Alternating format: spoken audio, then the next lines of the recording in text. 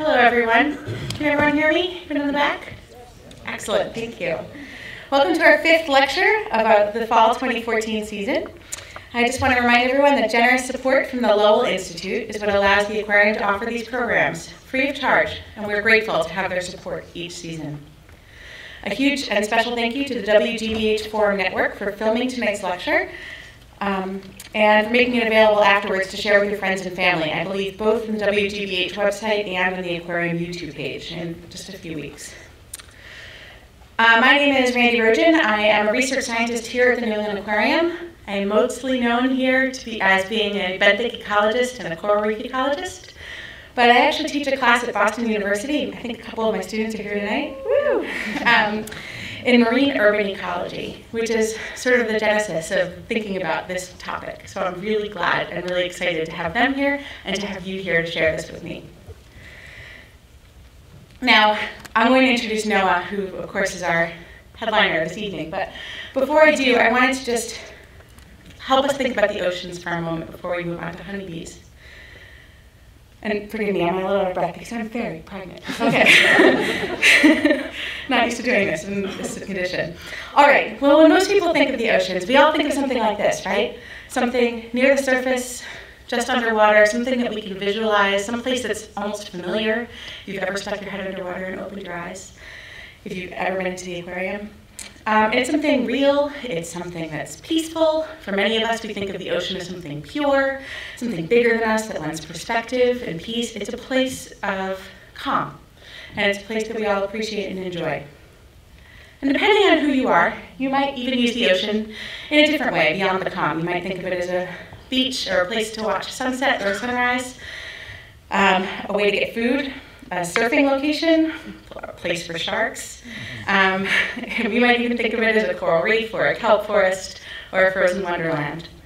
You might use it as a place for recreational scuba diving, and I think we have the New England Aquarium Scuba Club you know, re represented here tonight. I think um, many of us use it as a place for boating, for swimming, and for fishing. It truly is um, a place for, that many of us use, um, either on vacation or in our daily lives. Now, of course, when we think of the Earth, we think of the blue planet. I'm showing you this image mostly because we are so used to thinking of the continent view um, when we think about the world from space. But it really is the blue planet, and from some perspectives. We often think about, um, you know, as I said, just the continent sort of perspective, but I want this view up to remind us all that, for example, the whole Central Pacific can fill an entire image view of our planet, um, where land is barely visible. And in, but in most cases, right, this isn't the view we take of the oceans. In most cases, especially if you were to just go outside tonight, this is what we think about. It's home sweet home. It's beautiful. It's our local waterway. I see it every day when I come to work. And it's a place where we can just appreciate the water and living coastally, which is a really nice thing um, about living in Boston. So I want to take a bird's eye view for a minute of this waterway. Gone from space to the T, I know, very quickly. but wow, this should be familiar to most of you. And it's another way to appreciate our proximity to the sea, right? There are lines here that are very familiar to all of us. There are lines that transport, um, that represent our transport system all around the city. We have the red line, the green line, the blue line, the silver line, orange line, what am I forgetting? I think that's all of them. And um, you know, we know if you step on the T at any one spot, you could end up at any one of these other spots. And if you drop your gum wrapper in one spot, it could end up in almost any one of these other spots. This is a connected transport system. So start thinking of our city for a minute, just in terms of connectivity and the way everybody's connected to each other. All right, things are about to get real for a minute. I'm going to take the lines away. You ready? Do you know where you are? okay. So if this looks familiar, that's good. Here's the Boston Harbor again. I don't know where my pointer is, but you can kind of get the picture. And I want to point out a few other lines that you may or may not be used to looking at. Let me zoom in for a minute here. So the first line that I want to point out is one that you're already very familiar with, but you don't think about as a line, as a transport mechanism, and it's the Charles River. The second is the Mystic, and the third is the Neponset. These are the three rivers in the Boston area that drain into the Boston Harbor. And you can see the Boston Harbor is really distinctive, right? We have sort of C shape. It's shallow near the center. We go drop off to these shallow and highly productive banks that go into deep seas very quickly. And if you look at these waterways, they serve over a million people, and they go through many, many towns and cities. And these are the conduits to that harbor and the conduits to that ocean. This is the connected transport system of Boston. Now, we treat these rivers reasonably well, especially these days. We're pretty good about appreciating them. We have the head of the Charles, we have lots and lots of parks and banks along the river. I mean, most of you have, I'm sure, have used the parks um, and walked on the Charles recreationally this summer, or the Mystic or the Neponset, depending on where you live. And for the most part, we don't abuse them, right? And we even have signs telling us not to abuse them. You know, we have things that say, don't dump into our riverways. And I have not ever in my entire life seen anybody standing on top of a storm drain pouring toxic waste into the river, which is a really good thing because pre 1972 Clean Water Act, that might have happened. So this, we live in a time where, thankfully, people don't do this. Except that we do. We just do it inadvertently, and that's the problem. It rained last night, and it rained an awful lot last week. Does this look familiar? Is this a sight that we're used to seeing? The, there is, every single time it rains, an opportunity to take what's in our terrestrial environment and transport it and put it into this connected waterway, into the marine environment. What I also want you to notice, besides, of course, all the water pouring into the storm drain, is the perfectly manicured lawn that's directly adjacent to the drain. It's flooded. If that lawn was recently treated with pesticides or fertilizers, it would go straight into the storm drain. And in heavy rains, that whatever goes into that storm drain would go straight into the rivers and it would go straight into the oceans. So that's exactly what we don't totally think about. We think, oh, well, it goes down the storm drain, and it goes to a sewage treatment plant. That's true a lot of the time, but in heavy rains, you get what's called combined sewage overflow. I'm not going to walk you through too much of the technical detail, but this is how it works. In normal dry conditions, whatever is in your home and gets flushed down your sink, your toilet, or shower goes to Deer Island. But when there's heavy, heavy rains, the system gets overloaded. And there's combined sewage overflow, where not only what goes into that storm drain, but also what comes out of your sink, your shower, or your toilet gets dumped straight into the nearest local waterway. So every drop of water that we put into this system is an extra drop of water that overloads the system. So every drop of water that you can save is a drop of water less that is into this combined sewage overflow issue. Now, Deer Island, our sewage treatment plant, I don't want to throw them under the bus here, they're actually amazing. They're truly cut above. They are responsible for one of the greatest environmental success stories in America the cleanup of the Boston Harbor. They did it in less than two decades. We went from being the dirtiest harbor to one of the cleanest ones. They deserve a huge amount of credit. But this is a typical situation everywhere in North America and in many other places throughout the world, it's even worse. They just when it rains, nobody can handle that volume if you're a coastal. Okay, so when it rains, everything can get through.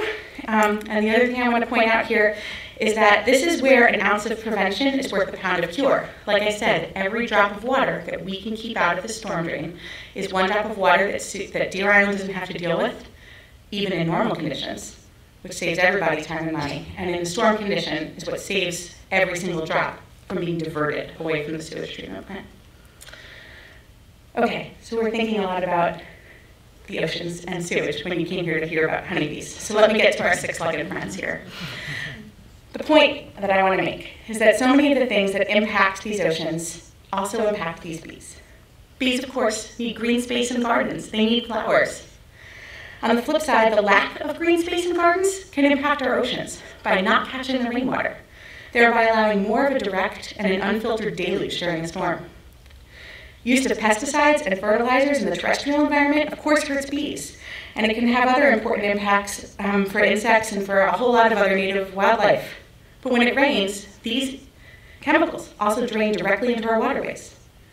When we use non-native plantings, it's a problem because these species are almost always heavier water users and they prevent less soil erosion. And they also prevent water penetration. So more water is um, or sorry, less water is being saved and more water is being wasted than in compared to native species. I know Noah is going to be talking about more of these issues shortly, which brings me almost to my close. I want to take a moment to acknowledge a dear friend and colleague who I went to graduate school with, Dr. Noah Wilson Rich, um, who, as it turns out, is a Connecticut native, so local to the New England area, but he's called Boston home since 2000. Growing up, he was actually not a fan, not one little bit, of creepy crawly things.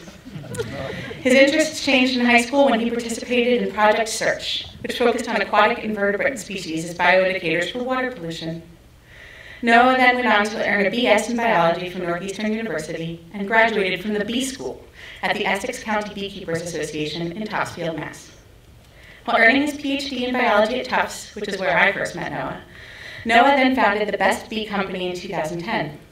Best Bees supplies gardeners and any other interested parties in the Boston area with beehives, as well as the resources, materials, and appropriate consultation for their upkeep.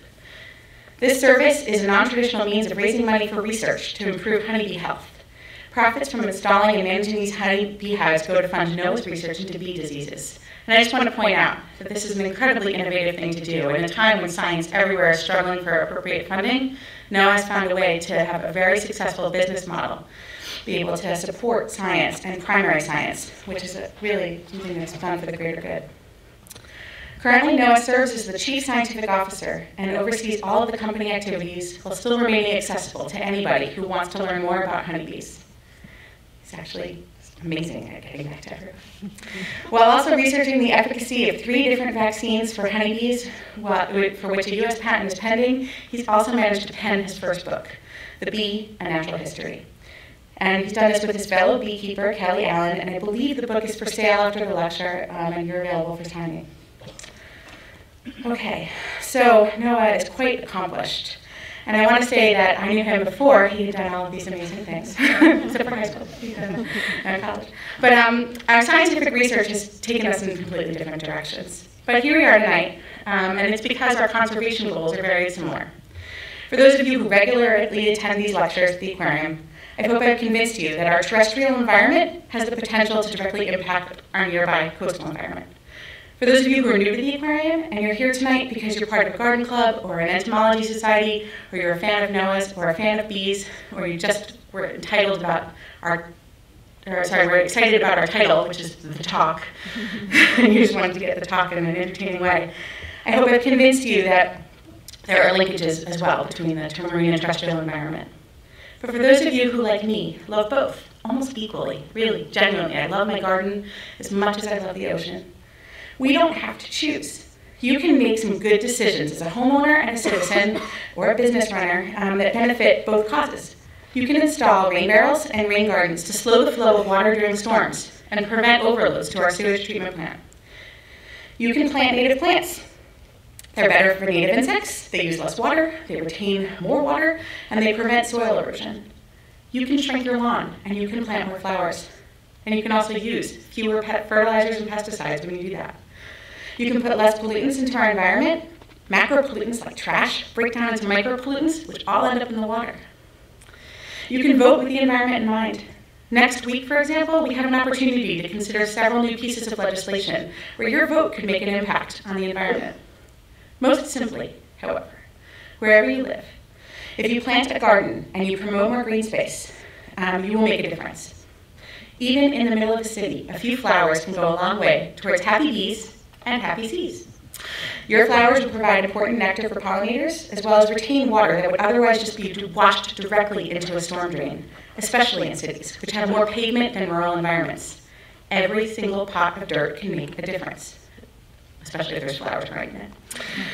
So in essence, in all the ways that exist to be green, that we all hear so much about, don't forget that being green also means, in aquarium speak, to live blue. And without any further ado, I'm going to let Noah tell you his side of the story. So thank you all for your time.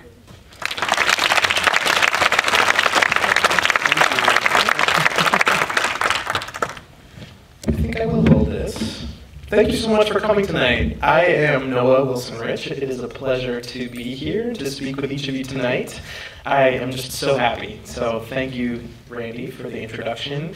I will also add a little bit more about Randi, which is that Randi comes from a bee background. When Randi was an undergrad at Cornell, Randi worked with Tom Seeley and uh, many other wonderful researchers at Cornell University to do honeybee research. And then Randi kind of changed it up. For myself, I actually applied to more marine biology graduate programs than bee programs, than any other type. It's just kind of how life works, right? And I don't think any of you are here today because you only have one interest. I don't know anybody who does have just one thing. I am more than a bee man, for example. I have many interests. And that's really the theme of here tonight. We want to live green and we want to live blue. We don't have to choose one. We don't have to do one thing at all. All that we can do is really keep our minds open to how to combine everything, and it makes living a bit more realistic. So that's what I'm here to talk about tonight. And some of these things can be a bit of a downer. So we've learned a bit about how our actions can affect the seas. Even one piece of litter that we put down on the ground, or that we see somebody else put down on the ground but just kind of let it go because we don't want to make a scene, that will get taken in by some transport system, and God knows where it will end up with bees, it is not much more of a bright story here, but that's really why you're here tonight, isn't it? To learn a little bit more about what's happening and what we can each do and what the current state of our world is. Bees are dying. We know this. And tonight I'll step you through really three different parts of my own talk, and that's going to be essentially past up to today, and then our present, and then also our future. Because our future is going to be a little bit weird. I think we can all agree upon that. I mean, thinking about iPhones, even this thing in my hand that's projecting my voice and my breath, these are weird things that have advanced already. And even if we can't understand radio and spaceflight, it doesn't mean that we should prevent them from happening. It's just because we don't understand it yet. So I'm going to help guide everybody a little bit more towards what a future of with living with bees and living with all types of conservation in mind, what that future can look like. I want for each of you to leave here as an ambassador of such things. So that's my call for you. I'm not going to teach you why these are so important. I think you already know that. I think the collective consciousness of humanity knows this, and that's why I put this big cover of Time magazine from last year up here. This is part of our current understanding. But what we don't understand is how to connect the dots. So I'm going back to the seas here, and we'll kind of flip back and forth. We're going to get wet again, which is fun. What's maybe a little bit more serious here is in 2006, that's when bees started disappearing. They weren't just dying, we weren't finding the bodies. This was called colony collapse disorder. How bizarre is that? That's what made this different. It wasn't just that bees were dying. Oh yeah, we need more pollinators. Boo hoo. It was like uh, there's a little bit more to this story. Where did they go? That's what really made it a bigger issue. And what I'm here to tell you about today is that this wasn't just the bees in 2006. What happened that year?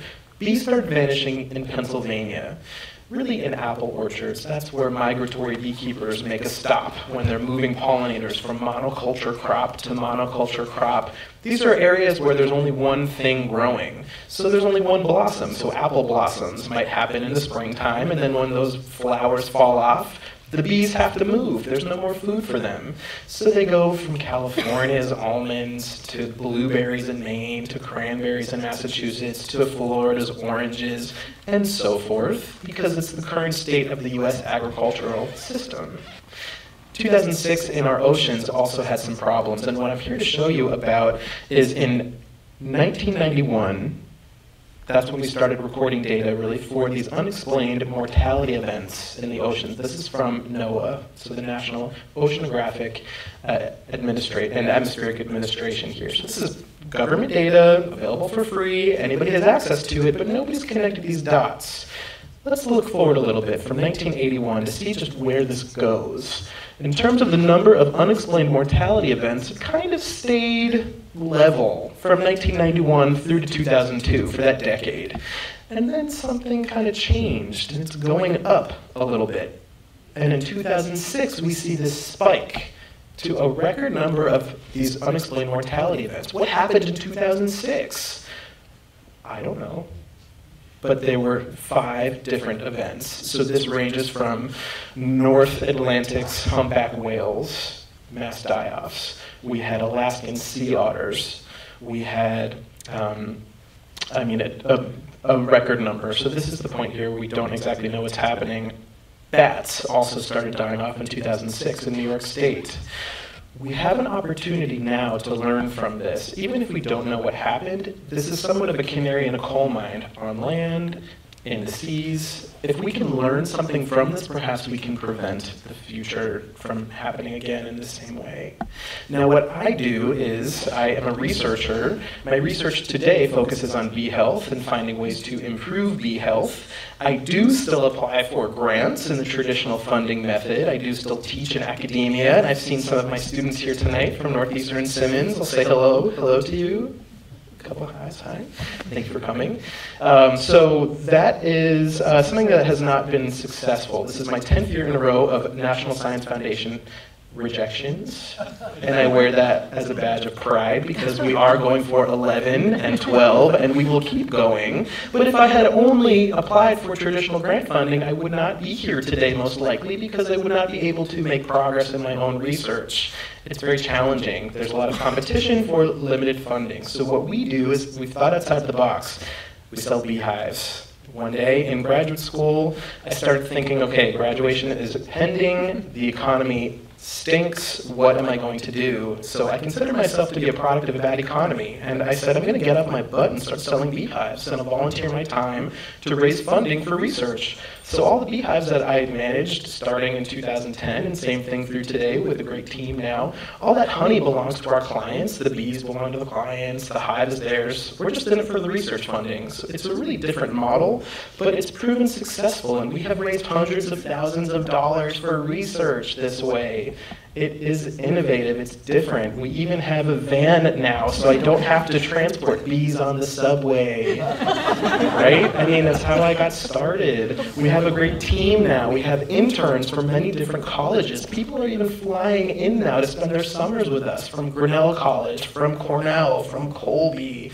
It's been amazing. So we're educating students, we've got postdocs, we've got a great team. There are actually 12 beehives in this picture. You can't see it too well, but this is in Cambridge. This is one of our clients that has beehives right next to a public parking lot. You wouldn't even know. We've been able to work with municipalities too to be very helpful. Sometimes bees can swarm. It's typically a springtime thing. This is when a beehive has a baby, in a way. Sometimes we think about superorganism theory. It's something that E.O. Wilson at Harvard and Bert Hölldobler, his colleague, wrote a book about. You can think about one beehive or a social organism here as one animal. And when that one large animal, so the queen is the ovaries and the reproductive system, and the worker bees are the blood cells, and the guard bees out front might be the skin, that superorganism just had a baby, and it looks like this. And we often see that these bees don't really think about where to go just yet. They're just going off into the environment. So we work with different cities to be the resource so they can call us like this in Dorchester when the bees swarmed to a yellow car. And then we just went out and collected them and we brought them back to our lab to the bee sanctuary which is a funny name for our parking lot. It's also like a bee hospital in a way. And we make sure that the bees are healthy so that we can sell them off to help generate more funding for our research it's been a really fun system, and we can help people that way. Now, the TED organization found out about my research laboratory, about our company, and all the things that we're doing, and invited me to give a TED talk. And my first TED talk was in 2012 here at TEDx Boston.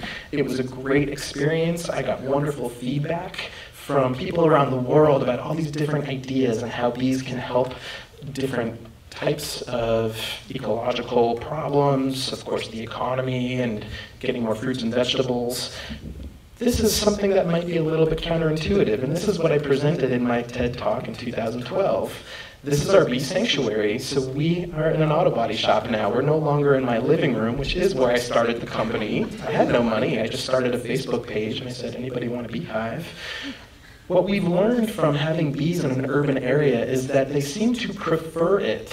It's not just a fad. Urban beekeeping is so much more, and what the data show are that bees make more honey in Boston and in Cambridge than outside of the cities. And they survive the winter at higher rates than outside of the city. There's a fitness, so a survival, uh, and reproductive benefit here. They're more productive and they survive better in the city than outside. You have to listen to what the data are saying in order to think about what's best for the bees. It might be counterintuitive, but we can really use those data to be innovative. So we work with many of the hotels and restaurants in Boston, like the Intercontinental Hotel. They do really fun painted beehives. The restaurant is called Miel, so French for honey. They have a camera at the entrance of the beehive. You can watch the bees from the lobby. It's great stuff. We even work with real estate companies here, like on the right. This is a client in the south end that thought about putting the beehive higher up so that Ahab, the dog, is safely out of reach from his sniffing nose inside the hive.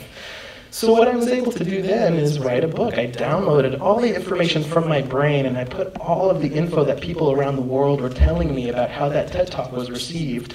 And I used that global perspective to tie together everything I know about bee health and conservation in general and what you can do, any individual person can do to help the bees. Kelly Allen is also my first student whom I published with on my own. So that was really great too. So the future for the Best Bees Company is bright, but the future for bees themselves remains a bit more opaque. And that's something I really want to share with each of you tonight as we get into the present issues. Now, in 2006, I mentioned colony collapse disorder started. That's when beekeepers were finding 100% of their bees gone from apiaries across the country. Not everybody had that high a loss, but we were seeing rates that high. And these are associated with this migratory beekeeping route primarily. This can be a big problem for many reasons. But I'm going to teach each of you how we can play a role in preventing these bees from living on flatbed trucks. Today, in the United States, more honeybees live on a flatbed truck than do not, if you can believe that. It's really a different world for bees than from when our grandparents were here. Late September, I wrote an article for the New York Times, an op-ed piece that presented information that scientists seemed to know but were, wasn't really getting communicated to the general public, that colony collapse disorder seems to have ended. And this is something new and perhaps startling to hear, because you might think, okay, well, bees are doing great. You know, they're only dying now at a 30 to 40% rate each year instead of 100%. But wait, 30 to 40% is still really high. So bees are still dying, and that's the take home message. We're just finding their dead bodies now. It's still quite a sad and difficult story. But with that being known now, that rate has stabilized, and we have an opportunity to figure out how to change that. We know that bees are important for a lot of reasons. They produce much of our food, over 100 different fruit and vegetable crops. They contribute over $15 billion every year to the U.S. economy alone. This is for their role as pollinators. Around the globe, that's over $100 billion into the global economy for their role. So this is really important for any of you who might think, oh, I don't really like bees, and like my father, I don't eat fruits and vegetables. You know, what do I care? So let's try to put it to your day-to-day lives here. If you think about what your lunch might look like at a picnic in a world with bees, you can look on the left or what your breakfast could look like in a world with bees, and now without bees. You know, it's not that we're going to run out of food here, it's just that we're going to have a lot of carbs. It's less colorful. So bees don't pollinate everything, but it really does change our quality of life. This has impacted so many things around the world, including policymakers, where now we even have our first beekeeper in the White House. You can see the little beehive on the bottom left there. And this has also impacted businesses to think about their own sustainability record. We have beehives at many national and corporate headquarters. It's spreading around the globe. Now, Europe tends to be a place that's very advanced for their conservation policy. France has always been a leader in urban beekeeping. They were the first ones to start promoting, as a government level, beekeeping incentives for the residents, encouraging the French to get more bees. If you contrast this with some places in America, such as Palm Springs, let's say, there's a permit required that costs $2,000 per beehive in Palm Springs. So if we weigh this, we have a financial incentive in France, and then you have basically a penalty, or only the wealthiest can afford to have a beehive. you're putting down pollinators here. In Kenya, I had the opportunity to visit Nairobi and work with the Samburu tribe in north central Kenya, and they were um, amazing beekeepers. They had great opportunities in the city of Nairobi to train the general public on how to be a beekeeper, how to build a beehive. So great opportunities for education, creating jobs in Nairobi compared to, let's say, Miami, and now even Cambridge, where the government are taking residents to court because of beehives. There was recently a cease and desist order in Cambridge served to a little kid's school for using bees as part of their educational program. We're hoping that this was just kind of a rogue member of City Hall and Inspectional Services, but it seems uh, that people are lawyering up and taking to the streets. And if we need to do that, I think it's important to at least educate ourselves to know what's happening here. Lastly, just last comparison, in Australia, there's a national consortium of universities around the country that have gotten together, so they're all sharing research, combining resources. The bees in Australia today are the healthiest, perhaps, around the entire world. They don't have the same diseases that other places of the world have, such as the varroa mite. Compare that to Los Angeles. The policy is kill honeybees upon sight. You are not allowed to keep bees in Los Angeles you must murder them. You have to exterminate bees. That started in the 1800s when people thought that bees attacked fruit. Clearly misconception. And in 1917, there was an article in the Los Angeles Times that said we need to repeal this outdated law. 100 years later, we're still talking about it. That's clearly preventing jobs. My company looked to move there to start a new office, and we couldn't. So we couldn't expand our company there, and also that's preventing local food production, impacting businesses negatively. It's a big problem. So one thing that we know, going back to the data from just last year, is that there is so much more to this story than just honeybees perhaps there's an over-reliance upon honeybees, and I want to share these data with you. These are, again, freely available, published by Jeff Pettis and colleagues in a journal called PLOS One. I love the name of that, Public Library of Science. And what I'll show you here is we're looking at the proportion of the crops that are being pollinated on the y-axis here, so on the left-hand side, and then you're looking at the type of crop on the x-axis here, okay?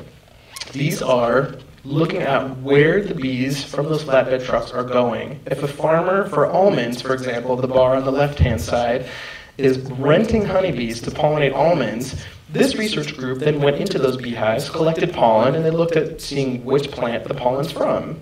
For almonds and for apples, most of that pollen was from those crops, as we would expect. However, what we've now learned just from last year is that for the other crops, blueberries, cranberries, cucumbers, watermelons, pumpkins, growers are paying money to rent honeybees to pollinate those crops, and the honeybees don't want to pollinate those crops. It's like giving medicine to a child and the child doesn't find it tasty. They're not going to eat it, right? It's not going to work. This is another thing we need to learn about the current U.S. agricultural system. It is a problem. Perhaps this over reliance on honeybees is hurting the bees, and perhaps we can get some of those bees off of flatbed trucks and pay attention to the 20,000 other species of bees that are out there, of which we've got 4,000 native species of bees in North America honeybees aren't native to here. What's going on with the other bees? Are we not getting all these other crops? I see a ton of pumpkins out there. I'm sure you do too. So we still get pumpkins, but what's going on? And is there a better way to do this? Can farmers save the money? Can bees get off the trucks? Can the cost of food go down then because we don't have to pay for these unneeded pollinators? And can we think about ways to promote other bees and native bees? Just like thinking about planting native seeds to help prevent runoff and many other reasons. Here's what I'm going to teach you how to do now. Here's how to do it, right? So here's what we're bringing brought now to today. This idea of bee hotels is something that's really important to consider. Many people think about bees as a nuisance, as a problem. And I understand that. I'll be the first to admit it, right? As Randi said, I wasn't the kind of kid who grew up playing in the dirt, playing with bugs. I get this perspective, but bees tend to live in crevices. Maybe you hear these stories about 50,000 bees just removed from a woman's wall and from this man's roof. You know, this happens and people think of it as a nuisance. But what if we can flip that? What if we can design architecture to encourage bees to live in the walls? It's crazy. I get it. But follow me here. What if we can put a pipe through that beehive or put pipes throughout the walls that can then have water being pumped through? Honeybees keep their nests about 90, 92 degrees in the wintertime. They do this by cuddling. They contract their wing muscles very rapidly, and it generates heat as a group. They generate heat by eating honey. That's why bees produce honey here. If we can harness that heat to heat our homes, think about how much money we could save collectively. How much do we spend on insulation? What do we use to insulate our homes with? Thankfully, it's not asbestos anymore. We know how harmful that was. But what are we doing with insulation these days, and can we do a better job by giving pollinators a home? It's just a wacky idea.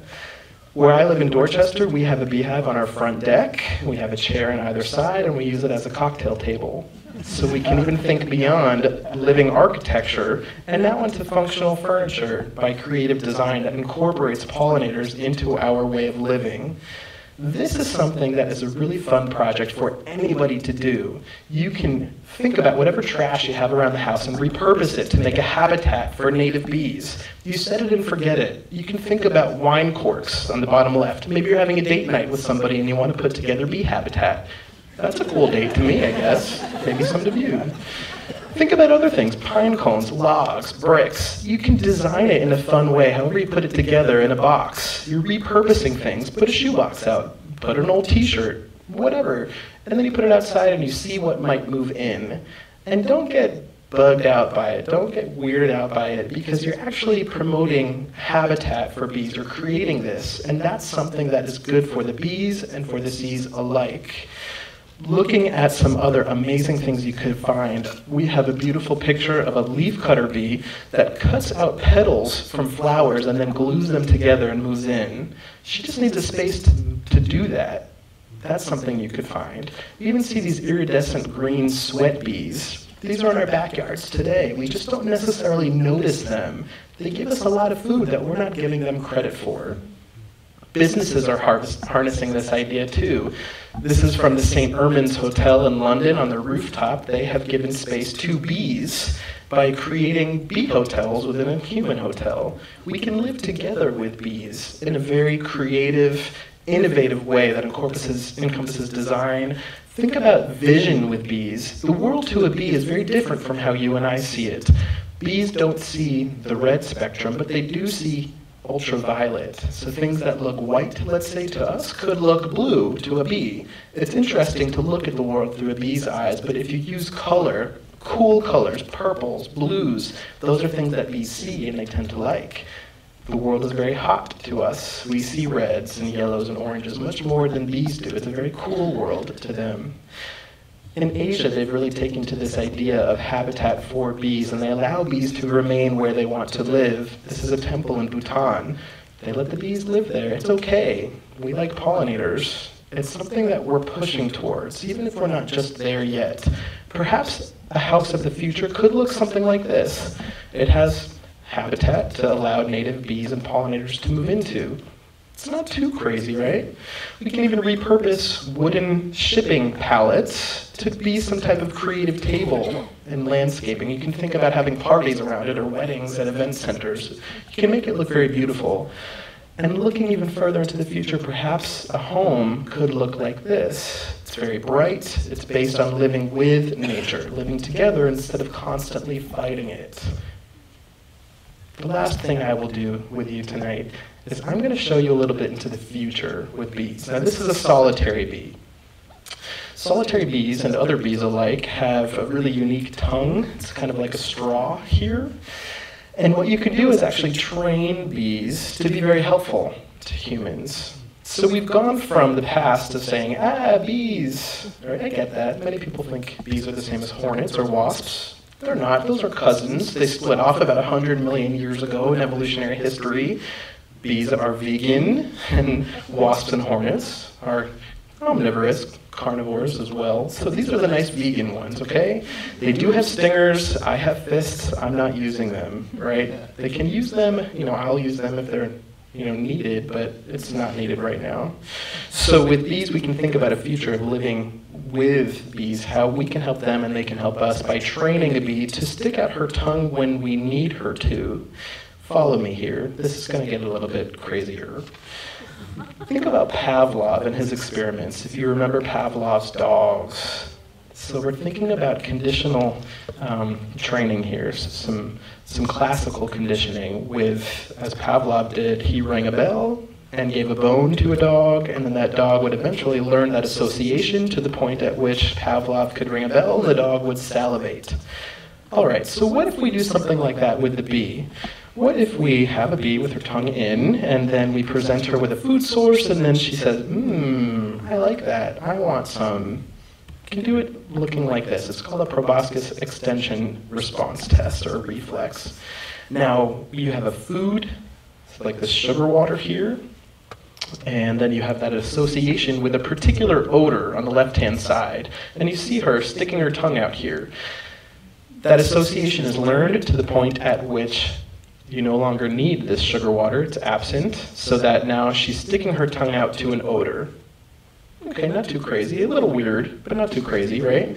Now, what's kind of cool is you can do this three times, this three trials, and the bee's memory remains over 72 hours. She can learn that association and remember it more so with three times rather than one time. It's kind of like how I was as a student, you know, I like, tell me a couple times and then I'll get it. Same thing with bees. What if you put a tracking device on the bee and then let her go out? What could happen then? What if you released a bee and then had her go to perhaps a flower that this bee species is not naturally associated with? So if honeybees are gone and honeybees are the only pollinator of almonds, the USDA or the researchers are already training bees to pollinate almonds, ones that don't normally do this, for example, the blue orchard bee. So that's one association. Follow me in this next one. What if you replaced that odor with something totally not associated with bees, such as bombs? Bomb sniffing bees. If you train a bee to sense a bomb and then released that bee, maybe a hundred bees, into a minefield, and they all go to a particular spot. You can clear that mine without having to harm anything. And you get some sense of accuracy because if there are 95 of those 100 bees, you say, okay, well, maybe we're 95% confident that we have to clear a mine right over there. That's pretty cool, right? Kind of weird. What if we don't release the bees, but if we kept them at home? So if we kept the bees in a handheld sniffing device, and they could sense bombs at an airport. This is also already happening with other companies. They're developing this in Europe and in Ireland specifically, I believe, so that what if one day we don't have to take our shoes off at the airport, or we don't have to do all the expensive screening that we do today, and you just have these sniffing devices. Again, with much more accuracy than perhaps one bomb sniffing dog could have, right? Sample size of one versus a 100. And what's really cool about this is that the bees can go home at the end of their eight hour workday don't have to kill them. You know, they're just at work, right? It's really interesting if you think about this futuristic kind of pixelated vision, but the bees are in their chairs and there's a sensor telling you when the bees stick their tongues out and with some degree of accuracy. This is something that really has the potential to change the world. This is being used in the slums of Mumbai to test for human health thinking about diabetes, if you can test for a blood sugar level through some type of a breath analysis into a tube, this will help people who don't have access to health care and they don't have resources to go to a doctor. That's already happening. We have that happening in many slums, many different diseases. We even have this happening in the developed world to test for cancer. What if you could breathe into a tube and you have bees that have very, very sensitive antennae and sensing devices for chemical cues that are learned? They have learned to associate some type of an odor with that response, and then you get an indicator of some type of a cancer or other type of disease happening. This is our future with bees, and all that it really takes is for us to keep our minds open to understand that even if there's one little thing that you do anywhere around the world, whether you plant a flower or you put some trash out in a neatly organized way and allow some pollinators to move in, that you can make a difference. Everything is intermingled, whether it's on land and you're living green or whether it's in the seas. Plants have an important role for both. If you live in the city and you don't have any space on your rooftop, or if you don't have a garden, you can do what's called seed bombing, which is very trendy. But beyond the trend, it's still important. You just throw a handful of preferably native seeds out to the side of a highway to any abandoned property, and you're creating more flowers. That will prevent runoff from all of the chemicals and things we were talking about, fertilizers. You can also create habitat this way for bees. You're giving them food. Anybody can play a role and everything is interconnected. You don't have to think about, oh, I want to recycle. Of course you do that. You do every little thing that you can, and you try to educate the masses so that not only you are ambassadors, but that you're passing it on and paying it forward. If we do this today, we can change the world for tomorrow. Thank you for your attention.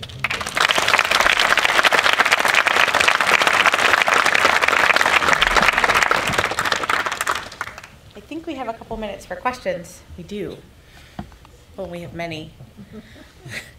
um, okay, right here in the front.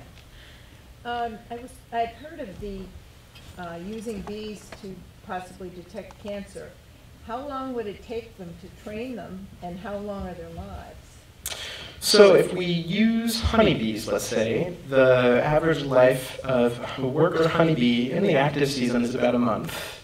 So the training could happen, let's say, within three days if you space those three training sessions out by a day or less even, and then you're kind of good to go. But you need some kind of a pipeline going.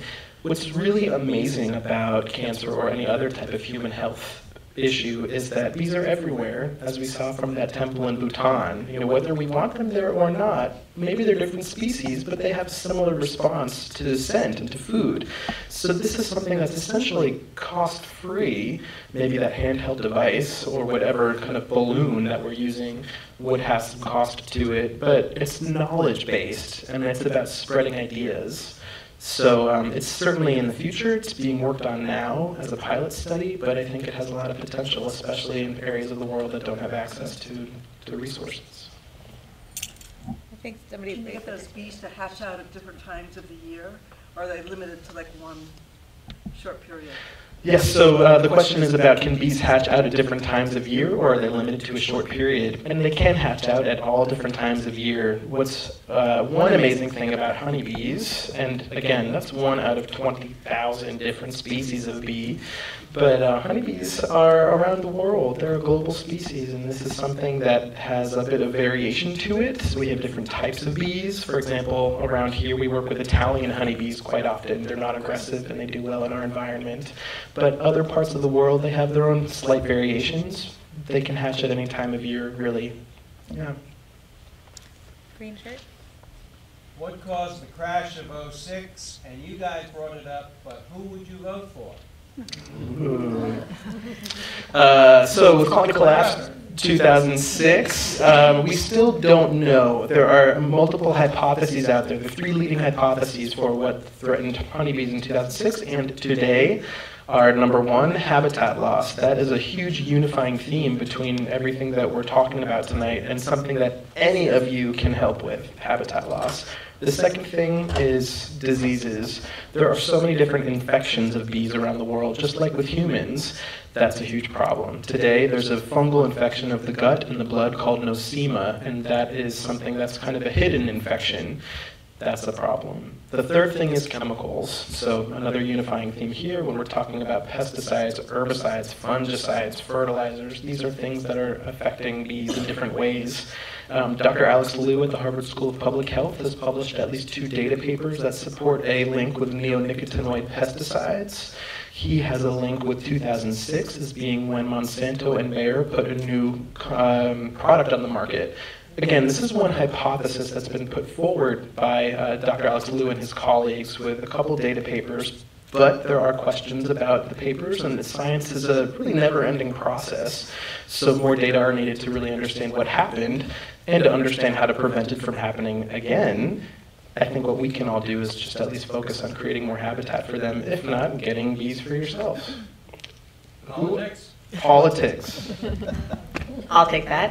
Um, As an employee of the New England Aquarium, I need to officially state that the New England Aquarium does not advocate for or have a position towards any policy or legislation coming up next week. However, as a private citizen, um, let me simply say that um, there are at least four questions on the ballot next week, and there are some really important political positions open. Think I'd be more comfortable talking about this one-on-one afterwards, but let me simply say that there are a few, for example, that are very clearly um, aimed at having an impact on the environment. There is the bottle bill, which is a really important one to consider, and there are lots of initiatives, um, both by people and in the ballot questions, that would impact what our cities look like and what our infrastructure looks like. And um, if you do your homework and sort of think, what?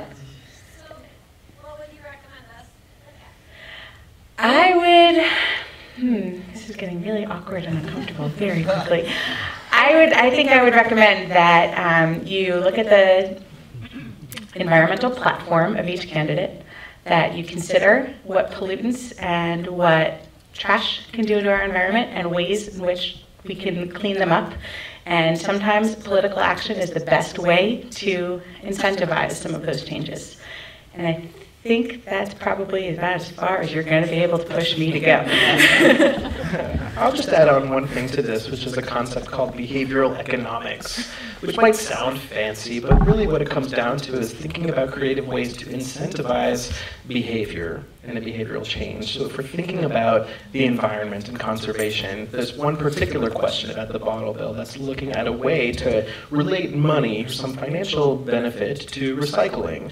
And what it comes down to is recycling. It comes down to a conservation effort and whether or not you think that this is a good incentive or a bad incentive. And that's totally up to you.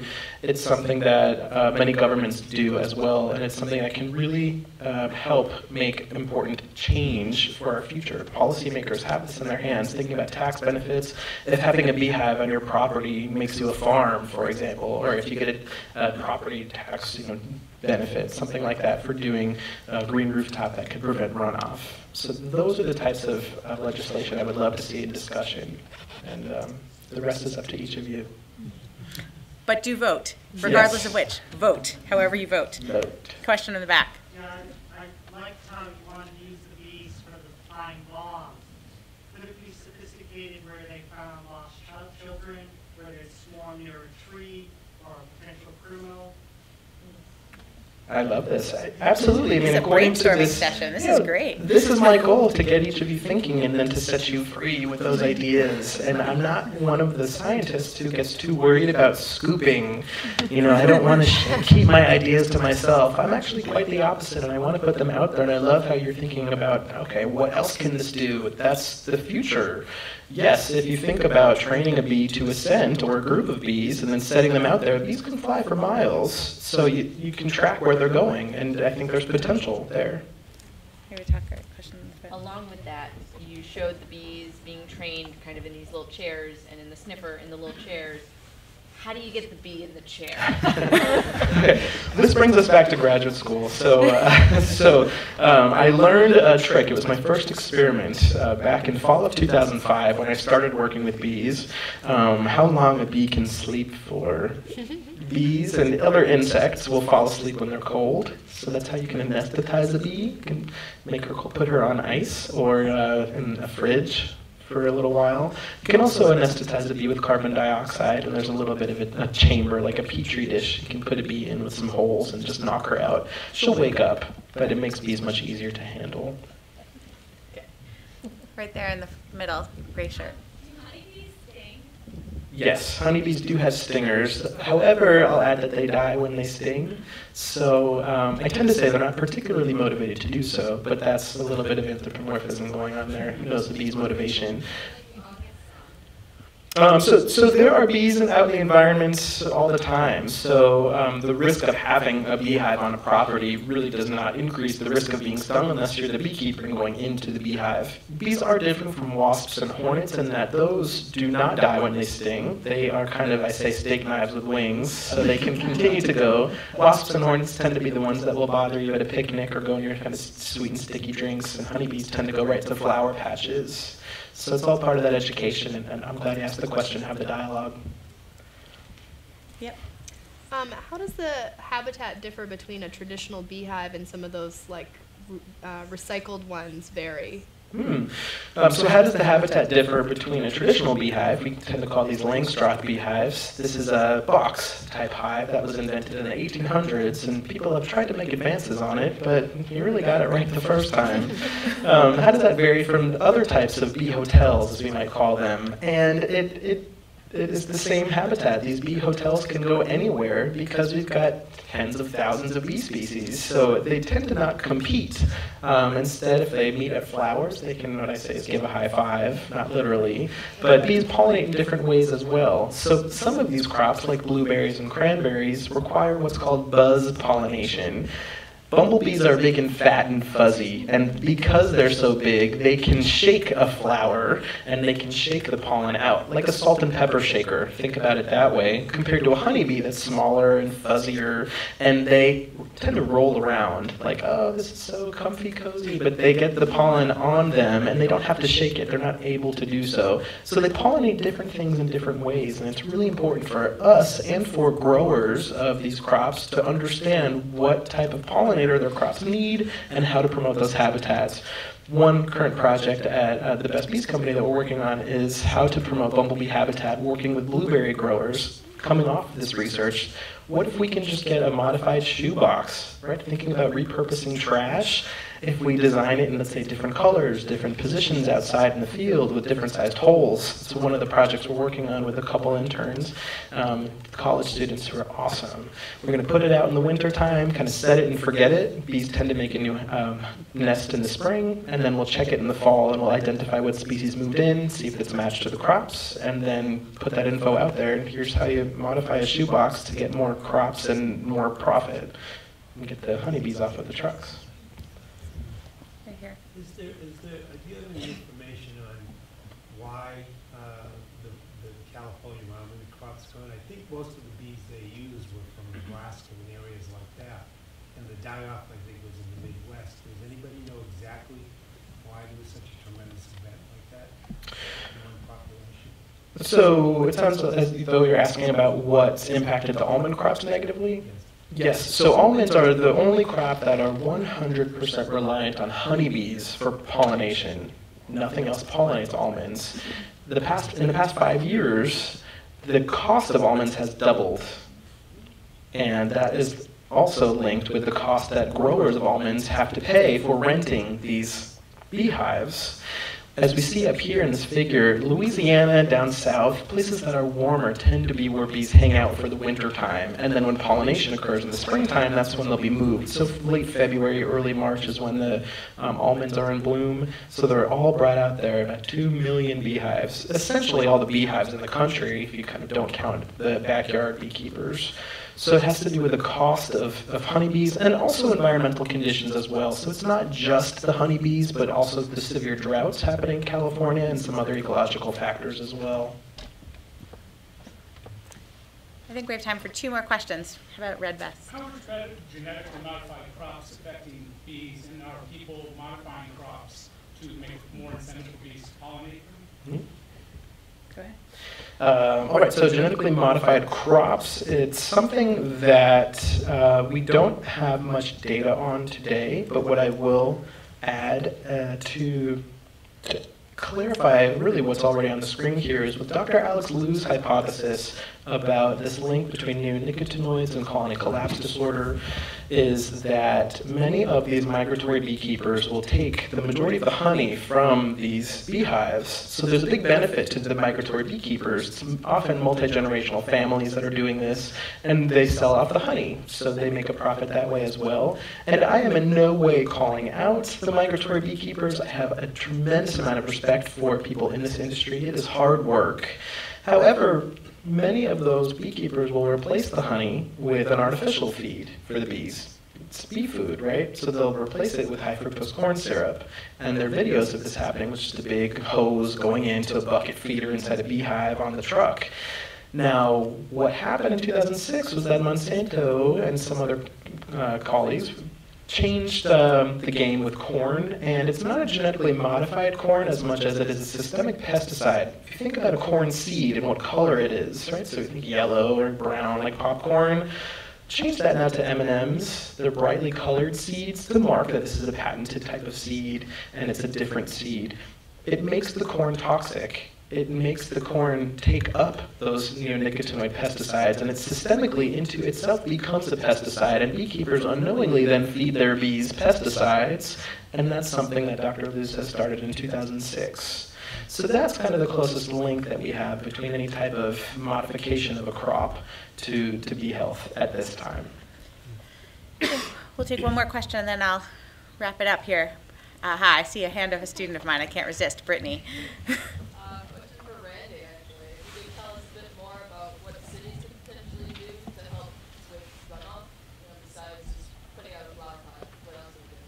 Ah, Brittany's a plant, I think. Pun intended. Brittany just took my marine urban ecology class. So she asked me what else cities can do. So first of all, um, we have an incredible opportunity, and we have already done some incredible things. So for example, the Big Dig, controversial at the time, but nobody can argue now with what the Greenway has done. Have you noticed how many native plantings there are on the Greenway? And how little there is lawn, but how little of it is lawn and how much of it is peaceful. We are designing new city spaces, new urban spaces, which are a pleasure to walk through and do an incredible amount for both insects, water retention, and native seed dispersal, and birds, and about a zillion other little things and larger things, which I'm probably forgetting about. So it's really exciting to watch cities be innovative. Boston's not the only one. Of course, there's the High Line in New York City. I mean, there are projects absolutely everywhere that I think green infrastructure, urban infrastructure is beginning to happen. And we're incorporating it into our building and design, mostly because I think everyone's realized that green space is nice and it's helpful and it's lovely and it actually promotes commerce and it promotes walkability and it promotes the livability of the city. So I think continuing to incorporate green infrastructure is very important. There are other things which are a little bit less obvious, which are also possible. Things like porous pavement, or when you can put in a green roof, which isn't going to be something you can walk on, but um, necessarily, but it's a beautiful, it can provide an awful lot of ecosystem services, which is what um, humans can gain from a natural product. But there are also other kinds of things, even something as simple as painting a black surface white can change the temperature differential and can make an impact in terms of climate change and the water cycle. And so there are, I mean, the list is endless, as Brittany well knows. But um, you know, there are just so many things that we can think about that um, can deal with water absorption, that can help to promote native plantings, that can promote extra green space, um, and that can turn all of this pavement into something useful and more beautiful, and a place that can be a bit of a habitat refuge instead of just a habitat ender. And so I think that's probably a good way for us to end and to say that I, there are lots of things that we do for the oceans that we do specifically for the oceans. And there are lots of things that we do for bees or for pollinators or for monarch butterflies or for your favorite tree species that's going extinct or pick your species, right, that are specific to those things. But there are so many shared conservation agendas that impact everybody the same way. And in those cases, when you do nothing, you're not just doing nothing for the one species that you might care about, you're doing nothing for any of those things. And when you do one thing, you're not just helping the one little thing that you wanted to help, you're helping everything.